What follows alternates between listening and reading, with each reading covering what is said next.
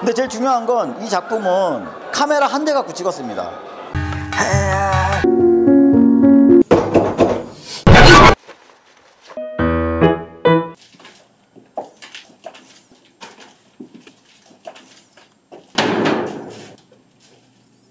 어, 샤이먼버그 무당벌레라는 작품은 실바나 단젤로가 쓴 이상한 도둑 벨리토라는 그 소설에서 영감을 얻어가지고 아주 오래전에 이제 그 시나리오 초고가 나왔습니다.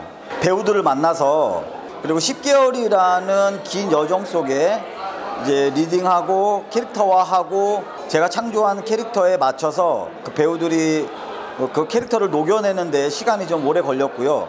그리고 캐릭터 자체가 이제 이상한 도둑, 착한 도둑, 또 나쁜 도둑, 그 다음에 또 다양한 개성이 강한 어, 깡패 건달들이 나옵니다. 근데 그 캐릭터들이 다 좀 독특하고 어떻게 보면은 좀 코믹적인 요소도 많지만 어, 이 Shaman Bug라는 작품은 어, 되게 슬픈 슬픈 이야기예요.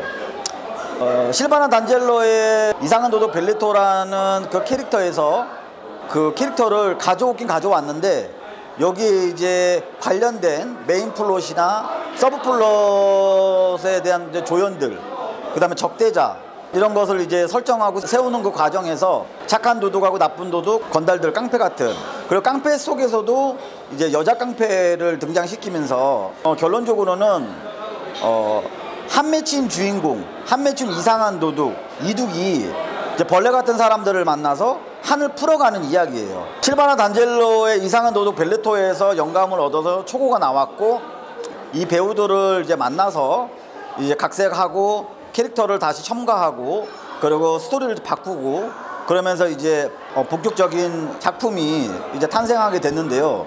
샬만버그 무당벌레의 주인공 주인공 이둑은 어렸을 때 아버지의 폭력으로 인해서 어머니를 잃게 됩니다. 여동생도 잃게 되죠. 그러면서 아버지의 폭력이 어, 나를 낳아줬던 행복했던 그 가정을 파괴하고 그리고 아버지의 폭력이 엄마를 잃게 하고 그리고 여동생과 순위를 잃게 했다는 그 한 맺힌 그 한 맺힌 갈등을 벌레 같은 어, 깡패들의 폭력을 직접 당하고 만나면서 자기 한을 풀어가는 이야기예요. 어떻게 보면 이제 무겁기도 하고 블랙 코미디 호러 스릴러 장르를 이 작품은 이제 추구하고 있는데요. 이 작품 자체가 이제 어 좀 무겁고 잔인하기도 하지만은 무겁고 잔인한 이 요소들을 어 재미나게 블랙 코미디로 좀 희화화시켜서 좀 연출을 하고 싶었어요. 근데 제일 중요한 건 이 작품은 카메라 한 대 갖고 찍었습니다. 저도 이제 오랫동안 시나리오를 써오고 로맨스나 판타지나 그다음 휴먼 드라마나 SF 여러 시나리오를 써오다가 첫 작품을 이제 끝없는 비라는 로맨스로 저도 데뷔를 하고 싶었는데 운명적으로 이제 배우들을 만나고 어, 저도 첫 작품이다 보니까 어, 첫 작품은 이렇게 의미 있게 힘들지만 힘들겠지만 이렇게 데뷔하는 것도 나쁘진 않겠다. 의미 있는 일이겠다. 어, 처음에는 이제 이 작품이 어, 실바나 단젤로의 이상한 도둑 벨레토라는 영감을 얻어서 처음에는 제목이 둑이었습니다. 둑. 둑이라는 제목의 시나리오는 이제 정지훈 우리 비 있죠? 비. 가수 비. 비를 캐스팅하고 싶었어요. 그 도둑이 이제 남의 집에 들어가서 도둑질을 하는데 경제적인 형편의 윤택을 위해서 도둑질을 하는 게 아니고 먹고 살기 위해서 도둑질을 하는 게 아니고 집이 잘 살아요. 이제 어렸을 때부터 초등학교 3학년 때부터 도둑질을 하면서 33살이 되는 과정입니다. 근데 거기서 이제 어, 벨레토라는 어, 캐릭터를 갖고 와서 둑이라는 시나리오의 초고가 여기까지 나왔었어요. Shaman Bug 작품을 하면서 그래서 김지운 감독이 놈놈놈에서 영감을 살짝 얻었어요. 이상한 도둑, 착한 도둑, 이제 나쁜 도둑 이렇게 설정을 했고요. 스릴과 쾌락을 즐기고 싶어도 욕망이 욕망이 있는 주인공이에요. 그 둑이 어렸을 때 이제 친구 집에 갔다가 도둑질을 하게 됐는데 거기서 이제 스릴을 느껴서 근데 제일 중요한 거는 플롯 중심의 시나리오를 처음에 썼을 때는 각자의 개성이 다른 도둑 세명이 어, 목적을 위해서 집을 들어갑니다. 예를 들어서 착한 도둑은 남의 집에 들어가서 청소하고 빨래하고 그러니까 남의 집에 들어가면 이제 도둑질을 해야 되는데 이제 착둑이란 캐릭터는 남의 집에 들어 청소하고 빨래하는 그런 캐릭터예요. 이 무당벌레 Shaman Bug에서 되게 어, 귀엽기도 하고 정말 또 어, 악동 같은 이미지지만 되게 살벌한 저는 이 Shaman Bug에서 제일 사이코 기질이 제일 강한 어, 캐릭터가 착둑이라고 봐요. 착한 도둑. 근데 이 이제 남의 집에 들어가서 이제 독질을 하진 않고 청소하고 빨래하고 그리고 깡패들한테 잡혀서 맞으면서도 그 굳은 일을 하면서도 거기 안에서 스릴을 지키는 거예요. 근데 어, 이 샤면버그에서 이제 착륙의 중요한 대사가 나오는데 착륙이 이런 대사를 칩니다. 이제 나쁜 도둑이 물어봐요. 너는 왜 남의 집에 들어와서 청소하고 빨래하냐? 이 또라이 같은 새끼야. 라고 얘기했을 때 착둑이 뭐라고 얘기를 하냐면 자기는 남의 집에 들어와서 청소하고 빨래하면 마음이 정화되는 걸 느껴요. 이런 대사를 치거든요. 저는 이 Shaman Bug에서 제일 사이코 기질이 제일 강한 어, 캐릭터가 착둑이라고 봐요. 착한 도둑. 근데 이제 이상한 도둑은 엄마를 찾기 위해서 어렸을 때부터 엄마를 잃어버리고 여동생을 잃어버리고 아버지의 폭력 때문에 엄마와 손을 잃게 돼서 그때부터 집을 나와서 이제 엄마를 찾게 됩니다. 근데 엄마를 찾게 되는데 나중에 이제 이상한 도둑이 깡패들을 죽일 때 정말 프로급의 이상으로 이제 건달들 깡패들을 죽여요. 그런 거 봤을 때 이상한 도둑의 설정은 이제 엄마를 찾는 그 과정 속에서 정말 많은 사람을 죽였겠고 이상한 도둑의 캐릭터를 보면 저게 사람인지 벌레인지 거의 그냥 무채색입니다. 야, 사람이 행동하는 양식의 기본 양식을 갖고 있지 않고 숨을 쉬거나 냄새를 맡다거나 반응이나 감정 이런 이런 게 전혀 없어요. 그러니까 어렸을 때 아버지의 폭력으로 인해서 엄마를 잃고 여동생을 잃고 몇십 년 동안 그렇게 여동생과 엄마를 찾다가 결국에는 한이 서려 가지고 거의 벌레 같은 벌레 같은 이런 캐릭터화가 돼버린 주인공입니다. 그리고 이제 나쁜 도둑이 나오는데 나쁜 도둑은 그냥 일반적으로 똑같은 도둑이에요. 남의 집에서 이제 뭘 훔치고 훔치고 훔치고. 근데 이제 이 세 명의 도둑이 아까도 다시 이제 본점으로 돌아가면 이 무당벌레 Shaman Bug의 플롯은 세 명의 도둑이 한 집에 우연찮게 들어가서 만나요.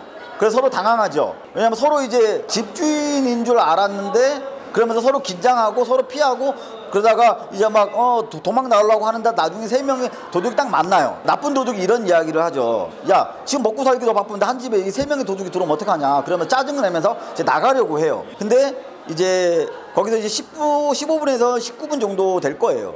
나가려고 하는데 갑자기 이제 건달들이 그 집으로 들어오는 거죠. 그러니까 이 도둑 세 명이 들어간 집이 건달 숙소인 거예요. 이 집에서 탈출하는 게 플롯 중심인 거예요. 근데 이제 캐릭터 중심의 플롯은 뭐냐면 이상한 도둑이 엄마를 찾기 위해서 남의 집에 들어갔다가 그 집에 들어갔는데 도둑들을 만나고 근데 도둑들을 만났는데 엄마 향이 났는데 엄마 향을 못 맡아요.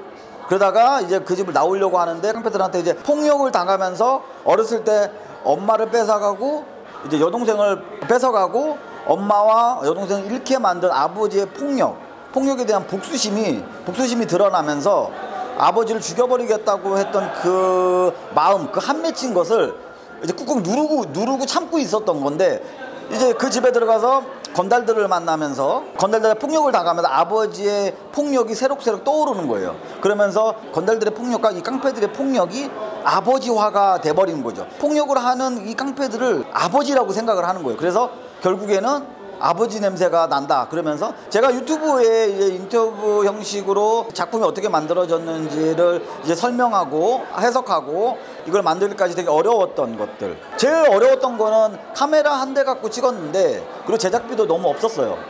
그지만 제 첫 작품이었고 배우들하고 약속이었기 때문에 그리고 그 많은 어떤 정말 이, 이 영화를 만들기까지 정말 많은 문제들 많은 사건 사고가 있었지만 그거는 추후에 여러분들한테 좀 설명해 드리고 무당벌레라는 작품은 제작비가 별로 없었고요.